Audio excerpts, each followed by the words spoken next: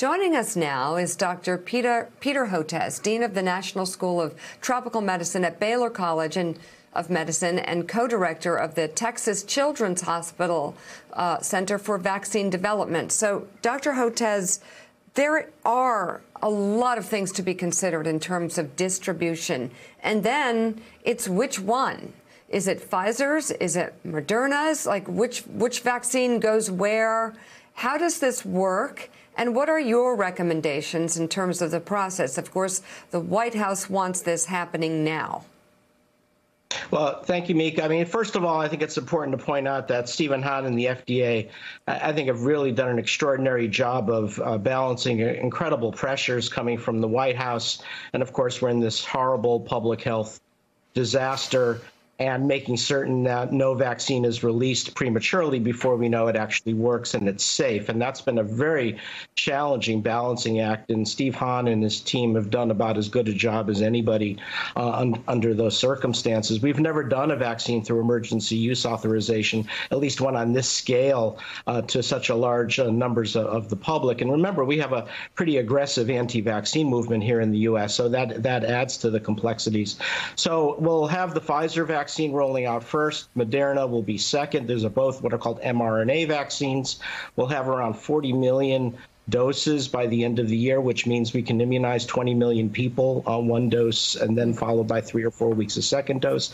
But remember, by early next year, I, I think we'll have a fleet of new vaccines, which include the two adenovirus vaccines, uh, maybe uh, a, a, particle vaccine from Novavax, and maybe even our vaccine, which we're now scaling up production in India and undergoing clinical testing across India. So with each passing month, things are going to start to get better now. It's just a matter of recognizing this is a, not a light switch which it's an evolving process. Dr. Hotez, it's Willie. It's good to see you this morning. We're in the trenches on this, obviously trying to get a vaccine and get it out to people, so we don't talk a whole lot about the big picture, but I think you're the right man for someone who has made this his life's work about how extraordinary this moment is in science and how quickly scientists and doctors like yourself have pursued and successfully found a vaccine. Can you put it into some kind of perspective as compared to how long it took to find other vaccines over history? So, Will, you actually asked a really important question, and here's why. Because people think it was some kind of uh, miracle that we got a vaccine out uh, in a year. And in some ways, it is. On the other hand, what we often forget is this builds on more than a decade of research showing that the spike protein is the target of the coronavirus. Uh, we, we've been working on coronaviruses for at least a decade uh, from funding from the National Institutes of Health.